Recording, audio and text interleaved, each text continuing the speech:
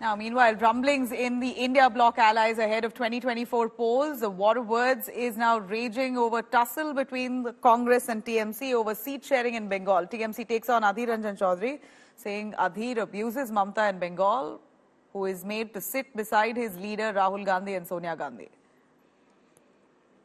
TMC's Kunal Ghosh is there will be parameters on which seat sharing will be done. Attacking the Congress, he's added that in 2021, TMC with Mamta Banerjee fought alone, won 200 plus seats. Congress fought in an alliance with ISF and Left Front and won no seat.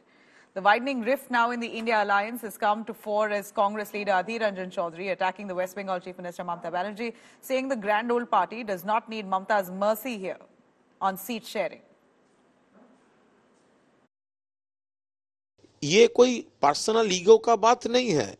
ये भाजपा का, हम लोग ये prove कर दिया दीदी के नेतृत्व में अभिषेक जी जनरल सेक्रेटरी तो पूरा united TMC can beat Bhajpa. ये तो एस्टेब्लिश हो गया। उस टाइम कांग्रेस किधर थे? वो तो वोट डिवीज़न करके भाजपा को हेल्प कर रहे थे। तो अभी उनको ये चाहिए, वो चाहिए। हमारा कोई कमेंट इसके ऊपर नहीं है।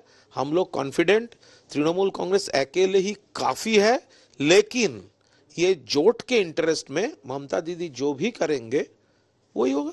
मैं बखूबी जानता हूँ कि हमारे जो सत्तारूढ़ पार्टी है बंगाल की, वो कभी इस तरह की गठबंधन नहीं करे, करने वाली है।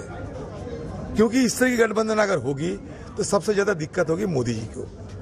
और मोदी जी को खुश करने की काम बनती है।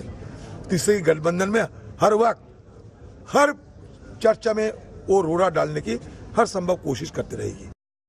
इंडिया गठबंधन का मुख्य लक्ष्य 2024 में आदरणीय नरेंद्र मोदी की सरकार को अपदस्थ करना। और सीधा मुकाबला हो हम यह समझते हैं कि कांग्रेस के राष्ट्रीय नेतृत्व को भी गंभीरता से, जो स्थानीय स्तर पर जो विवाद के बिंदु बने हुए हैं उसका समाधान यथोचित हो जाए जिससे कि राजनीतिक कटुता और कलु, कलुष का वातावरण न बन पाए। तो सब लोग एक उद्देश्य के लिए भाजपा मुक्त भारत बनाने के लिए एकजुट हुए हैं लोकतंत्र संविधान बचाने के लिए।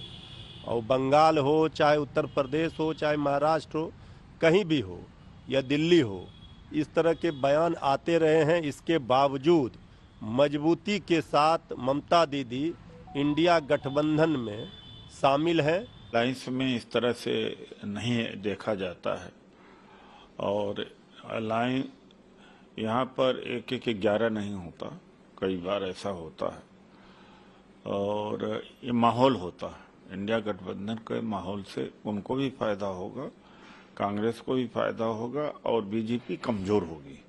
ये देखना पड़ेगा उनको। लेकिन उनके तरफ़ से ही ऐसा वक्तव्य आता है कि मजबूरन अधीर रंजन जी को प्रतिक्रिया देना पड़ता है। लोकसभा का चुनाव अलग है, लेकिन असेंबली चुनाव अलग है। इसलिए अधीर रंजन जो बोला, दो तो है ही है तो जुट क्यों करूँ? तो इसलिए बोल सकते। उनका मांग का हक है। तो ये पहले बोलूँ, ये जोट का कोई लक्ष्य, उद्देश्य अच्छा ही नहीं है। इसलिए बांचने के लिए एक प्रयास झूठा प्रयास हम बाँचेंगे। जनता उनका खिलाफ है। वो एकजुट होने के बाद कोई फ़ायदा नहीं है। Not only in West Bengal anywhere in the country the INDI group alliances are are are in are facing big big big brother role by the Congress party in any state in Jharkhand in Orissa in Uttar Pradesh even Bihar, even Madhya Pradesh, even Punjab also. The, keeping these situations, I strongly feel that the alliance among the indie groups will not get succeed